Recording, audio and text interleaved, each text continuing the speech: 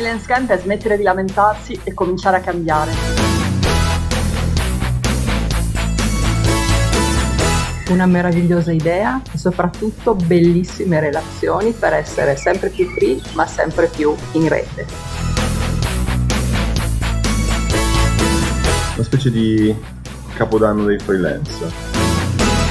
Passiamo al prossimo talk. Ellen e Lorenzo che ci parlano di automazioni per corsi online, un caso di studio. Era stata fatta una richiesta da Luisa Casanova Stua, eh, ma penso che sia un tema che interessa molte persone su come gestire e usare le automazioni ed ecco che voi ci portate un caso di studio sui corsi online. Racconteremo il caso studio di una nostra cliente che vende corsi online partendo dai problemi che aveva e di come li abbiamo risolti potenziando il suo sito WordPress e MailChimp. Elena e Lorenzo, a voi. Grazie. Allora, ciao a tutti, noi siamo Elena Lorenzo, alias a Capo Web, è più facile che ci conoscete così online. Parleremo di questo caso studio di questa nostra cliente che aveva, eh, anzi vende ancora ovviamente corsi online e ci ha chiesto di migliorare quella che era la parte appunto della gestione del corso e delle automazioni. Come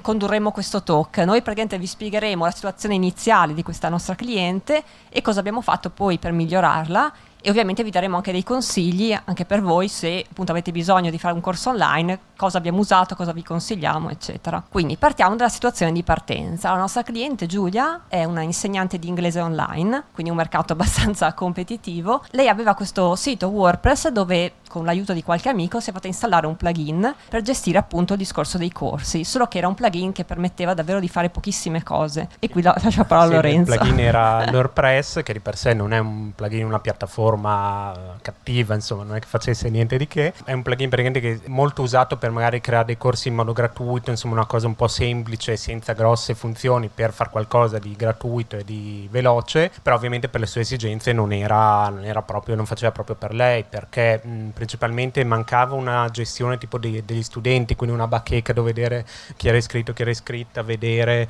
ehm, gestire anche solo un elenco degli utenti per ogni corso, per esempio se voleva sapere quali utenti erano iscritti, iscritte al, a un, tale corso non poteva farlo perché erano utenti normali di WordPress e eh, doveva, ricorreva agli elenchi che aveva lei per il sistema sì, degli faceva utenti. tutto a mano praticamente. Esatto, quindi proprio una situazione un po' difficile da gestire soprattutto con i numeri comunque che aveva. Poi era stato fatto anche un po' non benissimo, per cui c'era una marea di plugin per eh, aumentare le funzioni appunto di, di questo WordPress, che però non, era tutto, tutti un po' crocchi vari, insomma una situazione un po' difficile che mh, rendevano davvero difficile la gestione del, dei corsi, la gestione degli studenti, poter scrivere agli utenti, poter mandare dei certificati agli studenti, visto che comunque essendo corsi di inglese aveva bisogno di questa necessità di dare certificati. E quindi proprio il discorso automazione era ancora lontanissimo.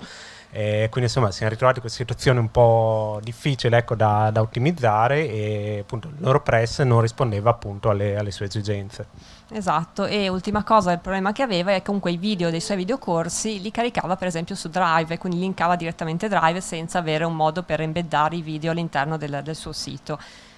Quindi noi cosa abbiamo fatto? Abbiamo cercato un po' di sistemare tutti questi problemi. Quindi, prima cosa, abbiamo cambiato il plugin che usava per gestire appunto i videocorsi e abbiamo tolto Learn Plus e abbiamo installato invece Lifter LMS momento plugin. Esatto. eh, invece il Lift LMS è un plugin un po' più professionale, eh,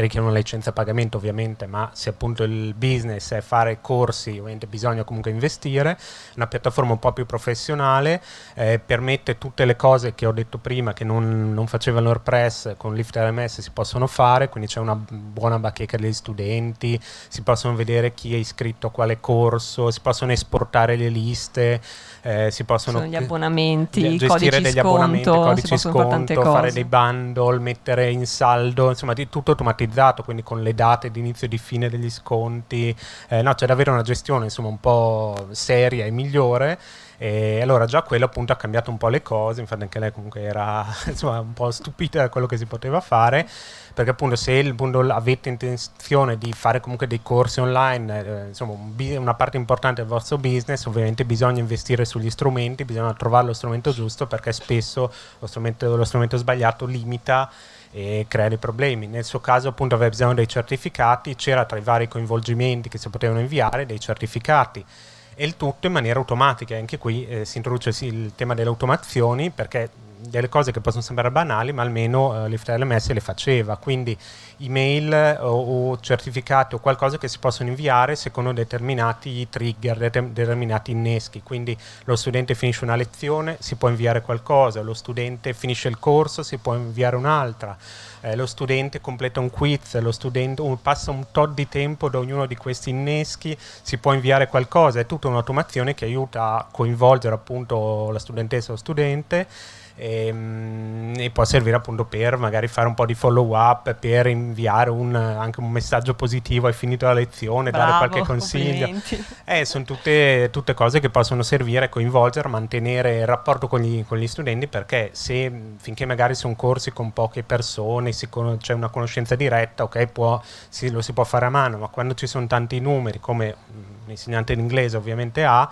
serve comunque automazione proprio per liberarsi da questa... Sì, perché prima appunto Giulia faceva tutto a mano, quindi mandare le mail, tutto quanto era, molto impegnativo per lei, considerando che aveva appunto diverse centinaia di, di iscritti, quindi di studenti, quindi automatizzare questa cosa le ha permesso di risparmiare un sacco di tempo. Ecco, io appunto qui nominiamo LiftRMS perché è quello che usiamo, ce ne sono altre, per esempio l'Ordash so che funziona, ma alcune cose possono essere fatte anche tramite piattaforme esterne come per esempio Thinkific. L'importante è appunto assicurarsi che lo strumento faccia le cose che volete fare, quindi ehm, avete progettato, vorrei automatizzare questo processo, controllate lo strumento utilizzato lo faccia prima di mettersi a lavorare perché dopo è molto più difficile tornare indietro. Ecco, quindi il consiglio un po' da, da portare a casa è quello, pianificare bene le cose che si vogliono fare e controllare bene se lo strumento risponde queste, alle vostre esigenze.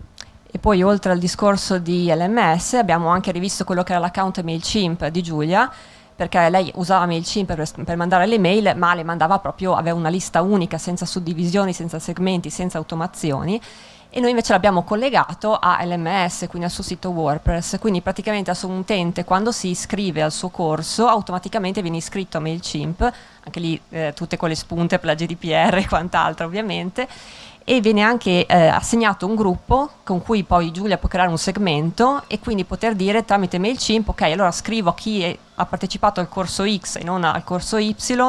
o magari chi è iscritto al corso X dato a tempo quindi può mandare delle mail molto più segmentate molto più adatte alle esigenze appunto dei singoli studenti invece che scrivere a tutta la lista o magari farsi a mano la lista scaricando via Excel l'elenco degli iscritti ecco, sì, dopo, ecco non, a proposito di GDPR non farsi prendere la mano di iscrivere tutti alla propria lista, iniziare a spammare cose promozionali, ovviamente eh, rispettate il fatto che se avete iscritto quelle persone a quel gruppo si, ma- si, inviano email solo relative a quel corso, anche perché a livello di spunte da far accettare li, li, bisogna scrivere appunto che li si iscrive anche a MailChimp, al gruppo di MailChimp, però si inviano email solo eh, legate al corso, quindi poi se volete che si iscrivano anche alle newsletter fate una, mandate una un'email apposta, che poi probabilmente sì, perché comunque se una persona è iscritta al corso e iscritta alla newsletter, però attenzione ecco un po' alla gestione del trattamento dei dati che è sempre un po' delicata. Esatto. Ultima cosa per le automazioni, eh, un'altra cosa che abbiamo fatto per Giulia ma anche per noi in passato, cre- abbiamo creato un test per creare una sorta di funnel automatizzato per attirare appunto potenziali clienti. Quindi con Giulia abbiamo creato questo test sempre sul suo sito, sempre su WordPress, anche qui con un plugin apposta, di cui dopo Lorenzo eventualmente parlerà, eh, con cui l'utente fa i test, viene fuori la risposta del suo profilo a cui corrisponde, nel caso di Giulia era il suo livello di inglese, e in base al profilo possono partire delle mail anche a quel tipo di persona lì, quindi mi è venuta la risposta A, ho questo profilo, quindi ricevo questa sequenza di mail magari collegata a MailChimp. E quindi anche questo può essere molto utile come funnel, proprio sia di acquisizione sia che poi di vendita, per scaldare un po' gli utenti e indirizzarli già verso il corso più adatto a loro, che appunto è quello che abbiamo fatto per lei. Ecco, nel suo caso non avevamo creato il funnel perché non c'era l'esigenza, era comunque un test aperto a tutti e a tutti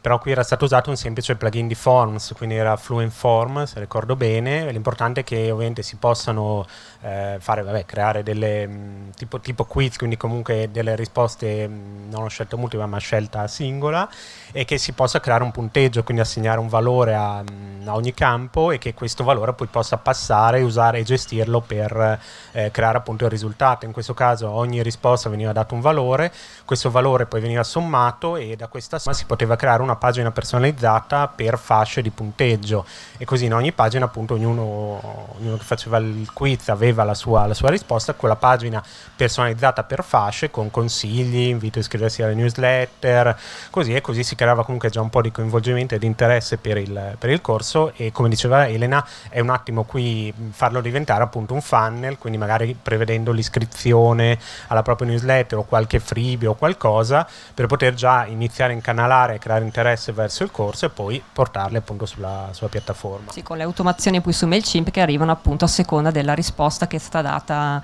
il profilo diciamo del test. Qui a livello GDPR è ancora più delicata perché comunque è una profilazione questo se ehm, taggate gli utenti a seconda del livello comunque c'è un, comunque un tag eh, che, che, viene messo questo è una profilazione quindi a livello GDPR va eh, dichiarato bene così infatti anche per questo non l'abbiamo fatto perché era bello che fosse aperto questo discorso del test però se lo volete usare come funnel attenzione sempre lato GDPR esatto.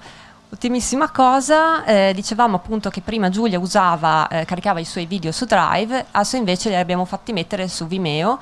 perché ha un vantaggio anche rispetto magari a YouTube. Vimeo con l'account a pagamento, la cosa più positiva è che si può ehm, decidere chi può vedere quel video, quindi si può dire questo video può essere visualizzato solo da quel sito lì, quindi diciamo che l'URL del video non può girare, non è che uno si copia l'URL del video e se lo guarda da un'altra parte o lo passa in giro, lo può proprio mettere solo sul suo sito così è sicura che le persone guarderanno le lezioni sul suo sito e appunto non gireranno e non verranno spammate in giro. Ecco. Non le impedisce di registrare lo schermo estremo così, però lì c'è proprio del dolo un po' estremo, se... però insomma almeno c'è appunto questo blocco di dominio, quindi si può vedere solo lì, non si può appunto cliccare e andare sul link del video, quindi è comunque una sicurezza in più per chi fa del videocorsi il proprio, il proprio business.